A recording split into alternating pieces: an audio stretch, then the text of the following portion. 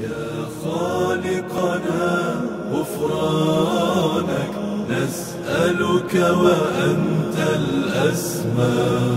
نأمل عفوك سبحانك. القابض الباسط هو الذي يوسع الرزق ويحبسه بحسب الحكمة.